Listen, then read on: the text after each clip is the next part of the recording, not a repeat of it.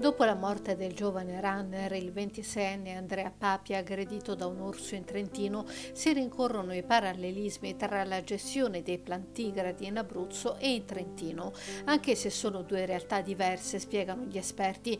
In Trentino è molto più alta la possibilità di incontrare gli orsi, mentre in Abruzzo l'orso marsicano si è dimostrato geneticamente meno aggressivo. Tuttavia il Parco Nazionale d'Abruzzo ha adottato, grazie al suo direttore San Marone, un regolamento collegamento ferreo per evitare incontri ravvicinati con animali selvatici, ma lo stesso direttore precisa. Spesso in questi giorni ho sentito dire che il Trentino dovrebbe guardare al modello Abruzzo per la gestione degli orsi. La verità è che noi stessi non siamo affatto arrivati a una soluzione che renda facile la condivisione di spazi tra persone e orsi. Poco più di 50 gli esemplari rimasti nel Parco Nazionale d'Abruzzo.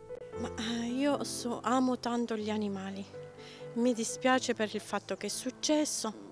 Cioè, lasciamo eh, l'orso nel suo ambiente e, e magari eh, cerchiamo un attimino di tutelarci, pure se facendo una passeggiata. Secondo lei il modello Abruzzo funziona o no? Ma io dico che, che funziona a confronto diciamo, di quello del nord, perché è strano quello che è successo lì. Quindi qui penso che funziona perché fino adesso non ancora ci sono dei casi gravissimi. Se tu dovessi incontrare un orso, avresti paura, cosa faresti? sì, scapperei, sì, perché comunque l'orso è molto più grande di me. Però ci sono delle regole precise che possono essere consultate. Siamo noi che andiamo a disturbare il loro ambiente, quindi poi eh, cioè dobbiamo accettare che insomma, reagiscano in un certo modo. Naturalmente con tutto l'abbraccio e il cordoglio per quel povero ragazzo. Ah sì, sì, eh, però io mi metto anche nei panni dell'orso che comunque vedersi correre eh, un uomo, l'orso si è spaventato e ha reagito. E pensa che non sia possibile questa convivenza? No. E che si dovrebbe fare, mi scusi, abbattere tutti gli orsi? No, no.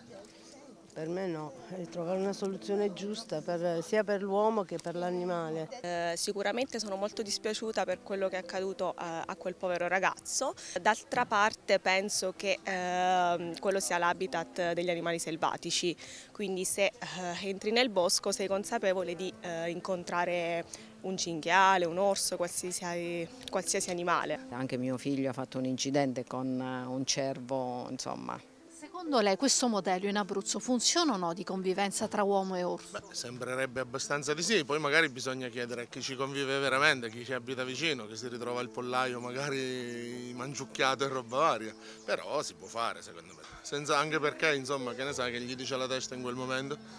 Se lo infastidisci troppo, insomma, può succedere. Io non mi avvicinerei mai e non sono piccolo. Forse l'orso ha paura di me, ma io non ci andrei troppo vicino.